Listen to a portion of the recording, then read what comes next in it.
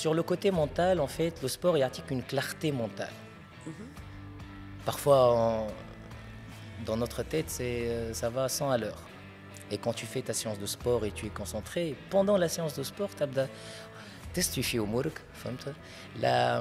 les idées et euh, là c'est une sorte de méditation et tu sais très bien l'être humain il médite au moins deux minutes par jour ce qui est très difficile qui tu ne peux pas te concentrer pour méditer. Au sport tu es concentré sur la contraction musculaire sur les répétitions. Et ça te fait une sorte de méditation. Et tu rentres dans une transe. Et là toi tu te sens bien. Même des idées. Le sport c'est un pansement. C'est un pansement pour le stress. Tu es stressé tu fais ta séance de sport tu es après 3 4 heures tu es bien et tu refais, et tu refais, et tu refais. Si tu fais pas de sport, qu'est-ce que tu vas faire?